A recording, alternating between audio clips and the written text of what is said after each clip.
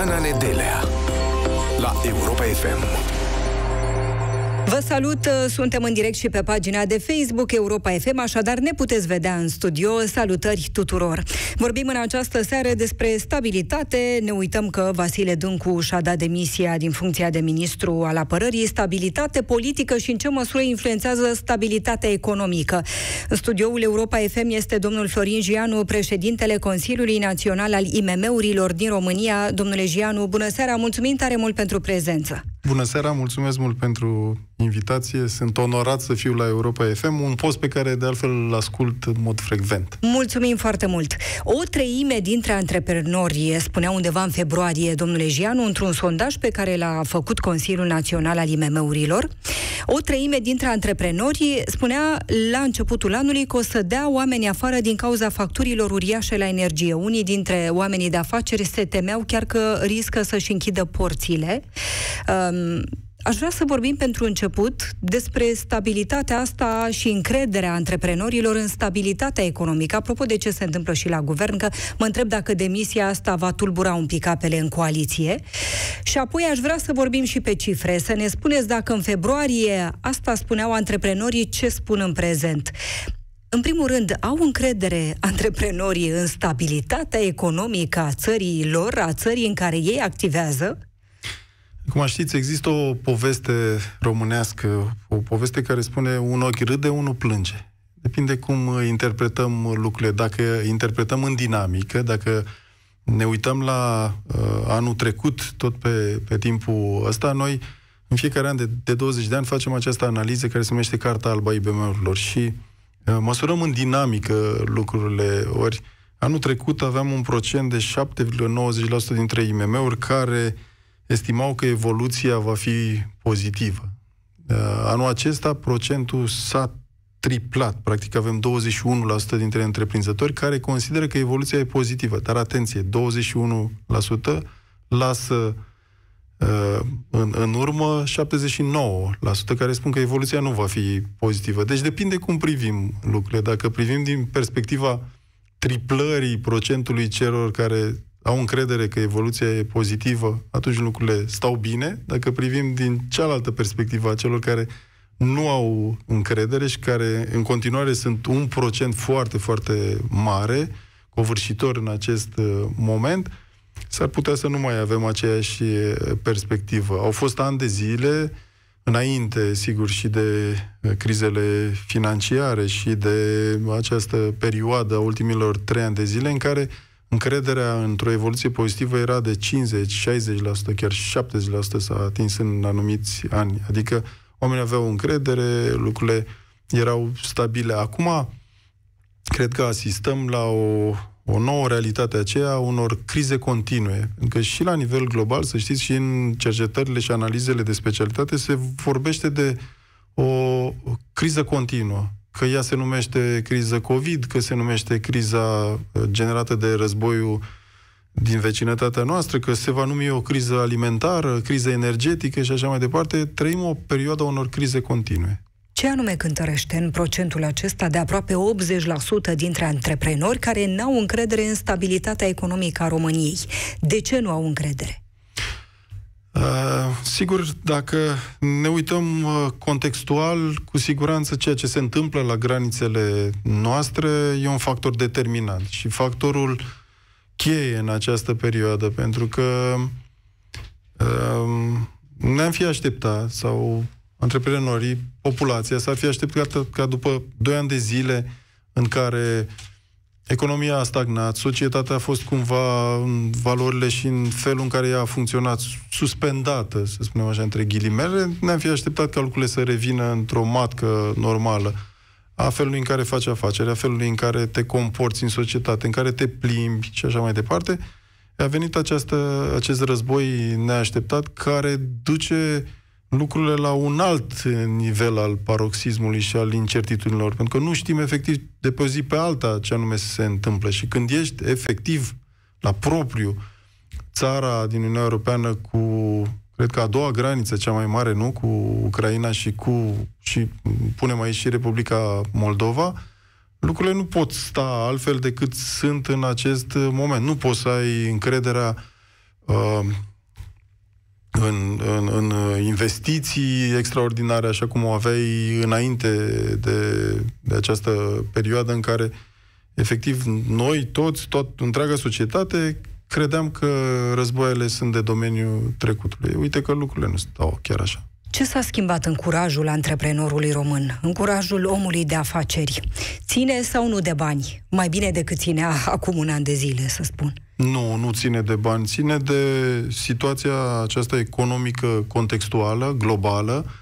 65% din uh, cei care ne-au răspuns nouă în carta IMM l-au pus pe primul loc această situație contextuală globală, după care Uh, ca evoluție, ca evoluție contextuală au mai pus uh, predictibilitatea redusă a mediului de afaceri, aceste schimbări, sau nu neapărat schimbările, dar vedeți foarte multe discuții pe marginea schimbărilor, că uneori nici nu mai contează dacă se realizează o schimbare sau alta, ci se creează o anumită percepție, un anumit tip de... și dacă lucrurile merg într-o anumită direcție, oamenii nici se mai uite că s-au schimbat. Și ei au senzația continuă că lucrurile sunt într-o instabilitate uh, Uh, continuă, birocrația care, pe care încă o percep ca fiind excesivă și o percepem cu toți în mai mediul de afaceri. Cetățenii, în general, percepem această birocrație și să nu uităm totuși că la începutul anului încă eram într-o pandemie de coronavirus pe care cumva pe repede înainte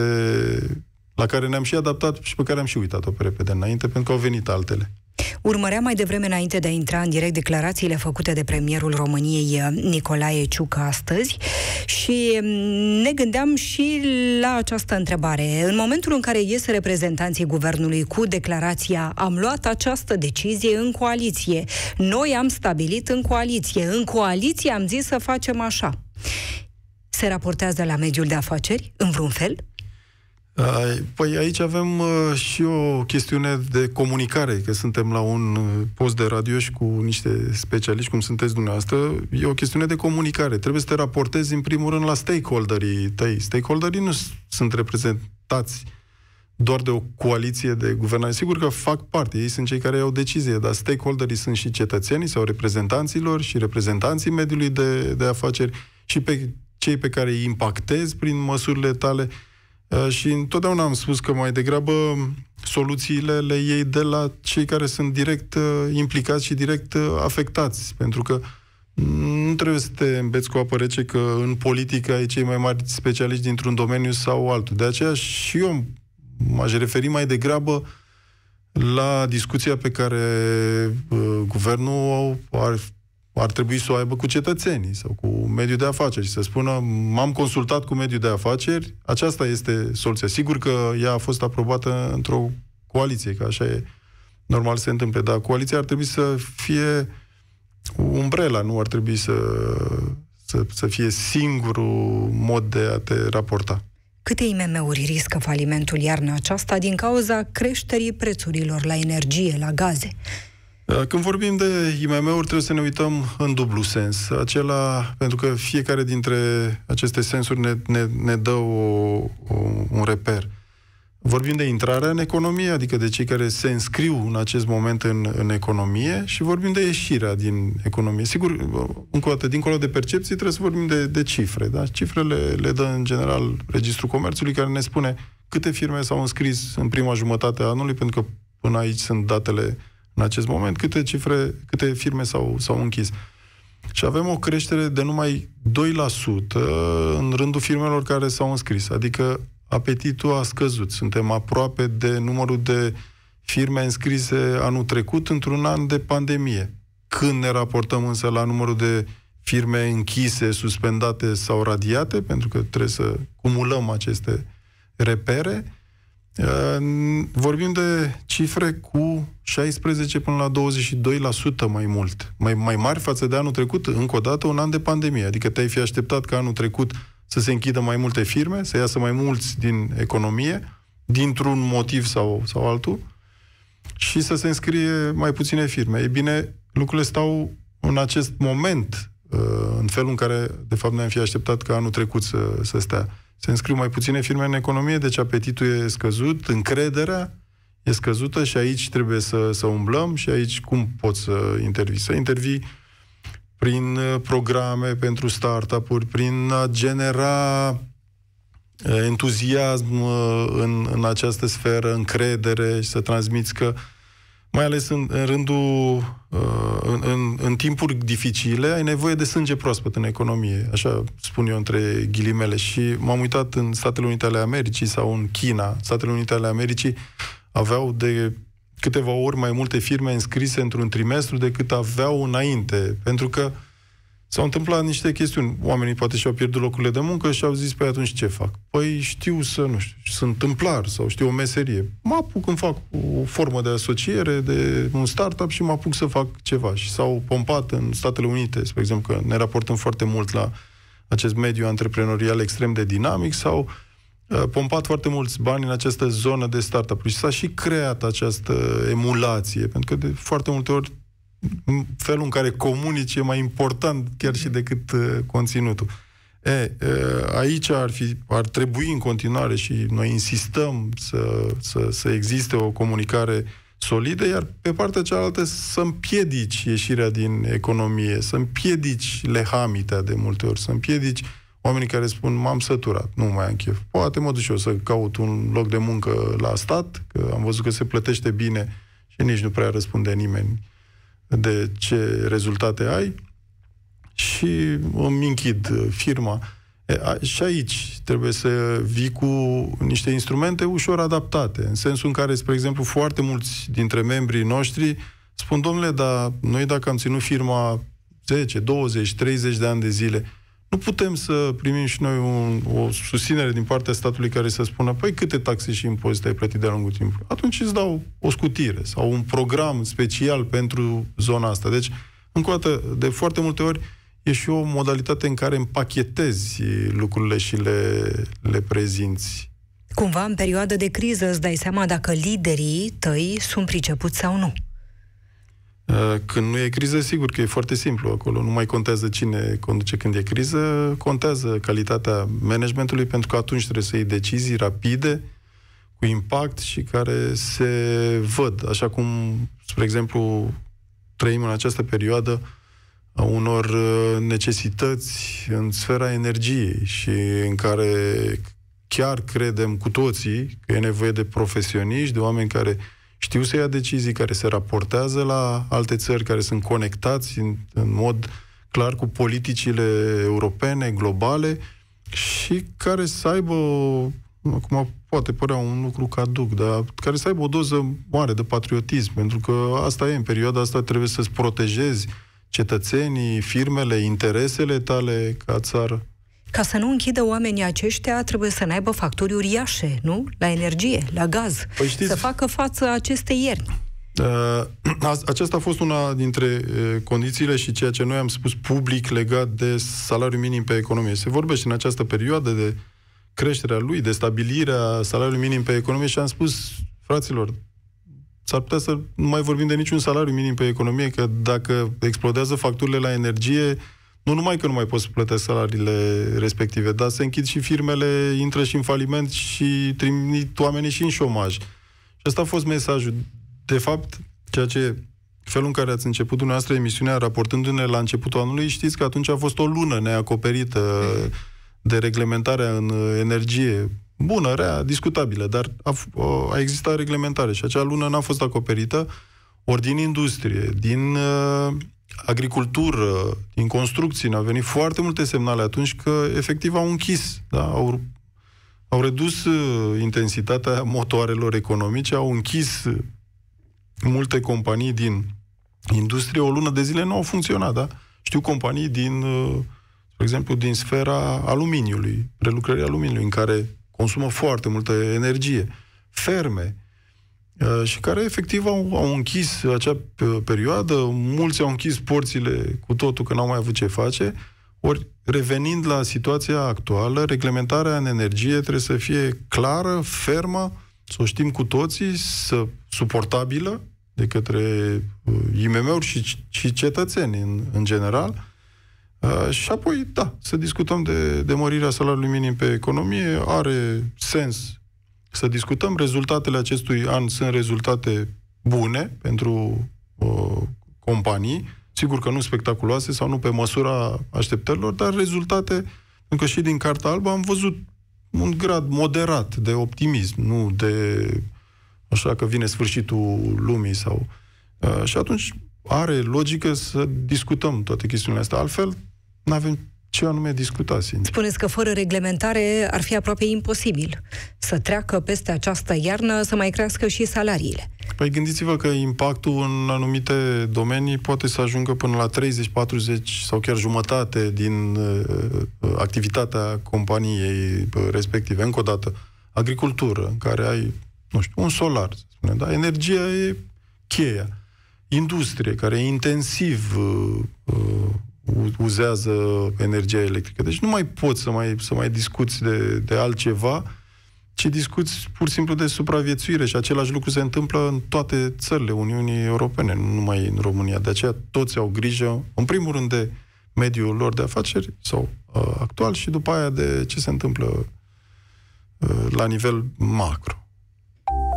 Piața Victoriei la Europa FM.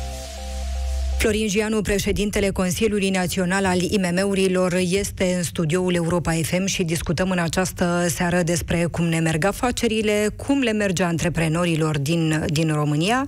Ne întrebăm și câte IMM-uri riscă falimentul iarna aceasta din cauza creșterii prețurilor la energie și gaze, ce dificultăți, ce temeri au antreprenorii din România și dacă o să-și permită companiile să mărească salariile.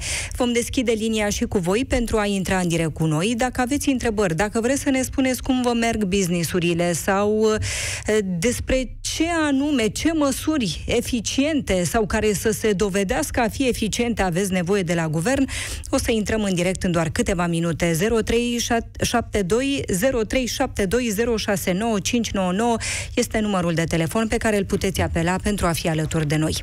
Florin Gianu, președintele Consiliului Național al IMM-urilor în studioul Europa FM, spuneam la început începutul emisiunii că în februarie o treime dintre antreprenori anunțau Consiliul Național al IMM-urilor că o să dea oameni afară din cauza facturilor uriașe la energie. Unii dintre ei chiar se temeau că riscă să-și închidă porțile.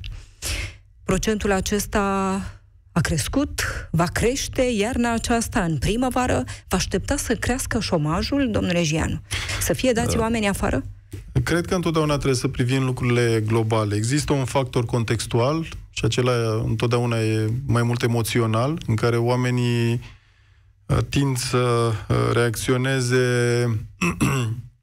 mai dur sau să reacționeze mai ferm și să spună dacă nu, lucrurile nu se întâmplă într-o anumită manieră care înseamnă protejarea economiei și societății, atunci noi nu mai putem face față după care ele se reașează într-o matcă normală atunci când reglementările sunt luate. De aceea viteza politicilor publice e cheia întotdeauna, pentru că am văzut asta și în pandemie, am văzut uh, și acum în această perioadă a conflictului din Ucraina, dacă acționezi la timp și imediat și foarte ferm, uh, atunci unda de șoc nu este foarte, foarte mare sau nu e profundă. Da? Oamenii se re calibrează, repoziționează.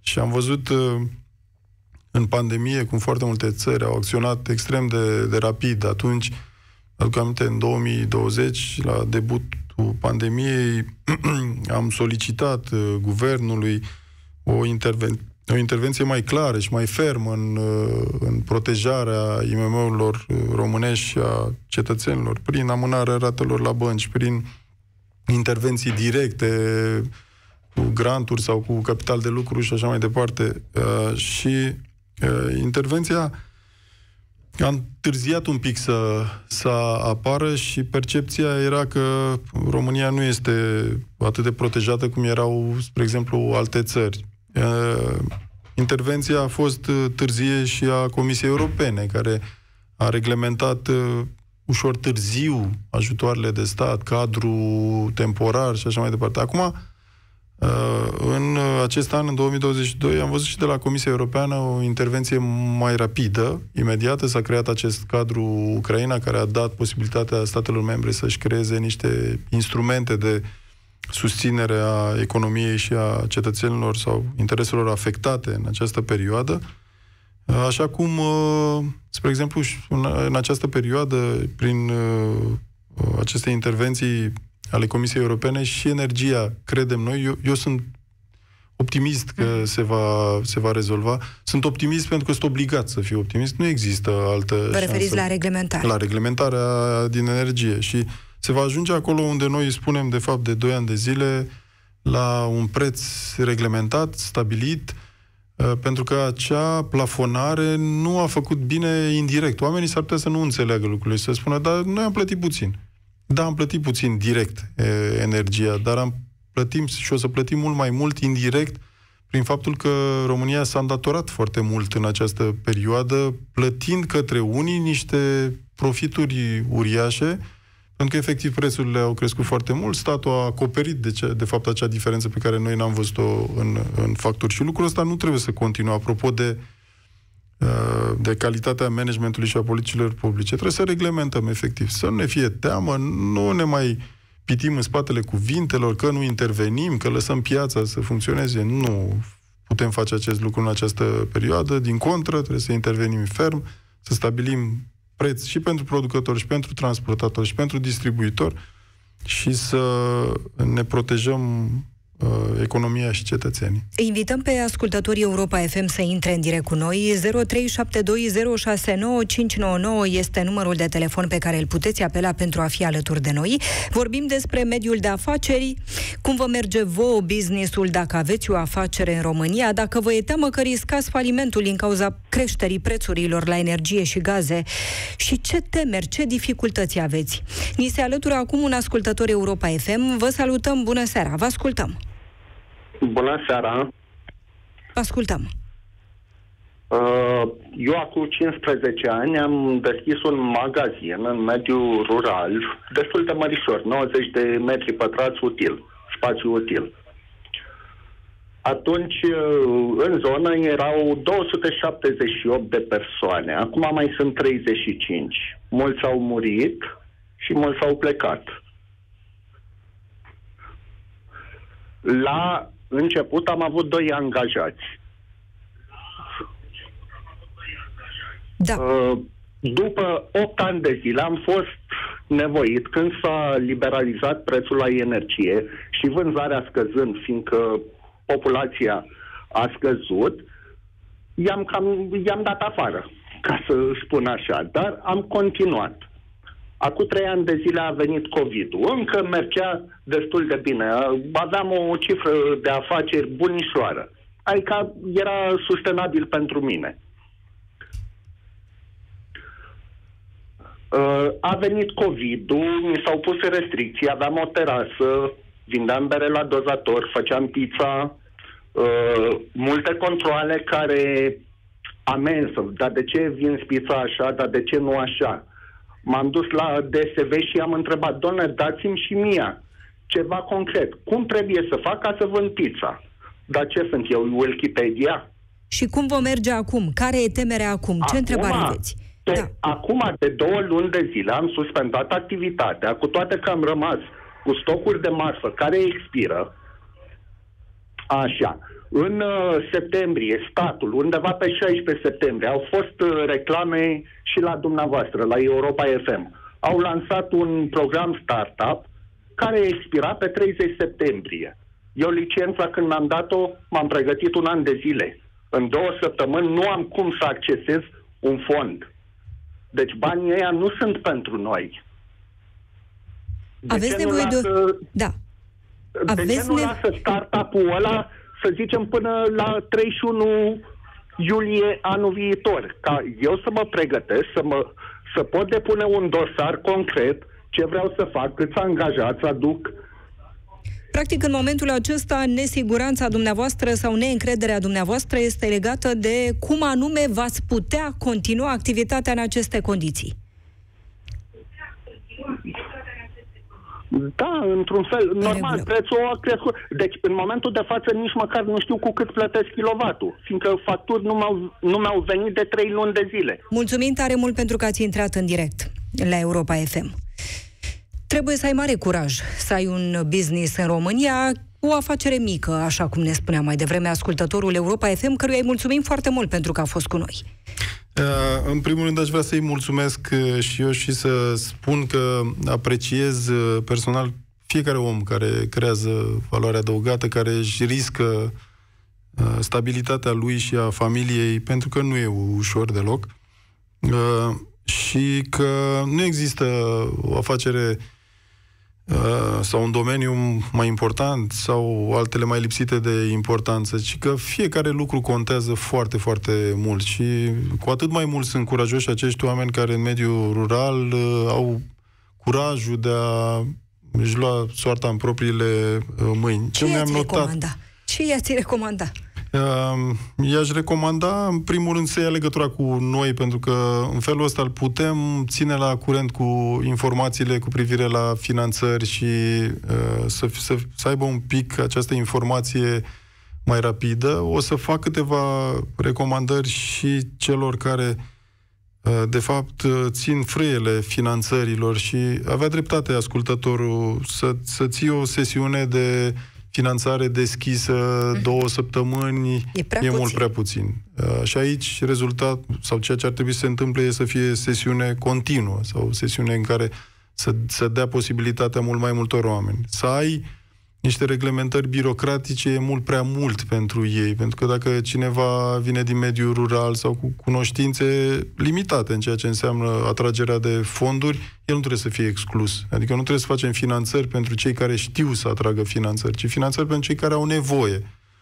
Uh, și am, am notat și acea chestiune legată de, de controlele excesive sau de controlele care nu te îndrumă și care nu spun cum ar trebui să arate lucrurile. Și să știți că uh, am spus acest lucru în mod constant. Mie mi se pare că în România să-ți deschizi o mică afacere comercială sau să ai un restaurant, e de fapt deschiderea unui spital, nu e deschiderea unui restaurant. Adică ați văzut cu toții, am călătorim, da, mergem în Spania, în Italia sau în alte părți, ați văzut cât de simplu sau normale sunt pizzeriile sau alte tipuri de restaurante și la noi cum trebuie să ai vestiare, să ai tot felul de reglementări care n-au nicio noimă și care la sfârșit de fapt te îngroapă Uh, și nu te ajută cu absolut uh, nimic. Mi-aduc aminte și vreau să uh, da. spun acest lucru. Mi-aduc aminte că am fost odată la o întâlnire internațională și era un jurnalist italian care uh, scri, scrisese o carte uh, cum nu am reușit să deschid o pizzerie. Și era extrem de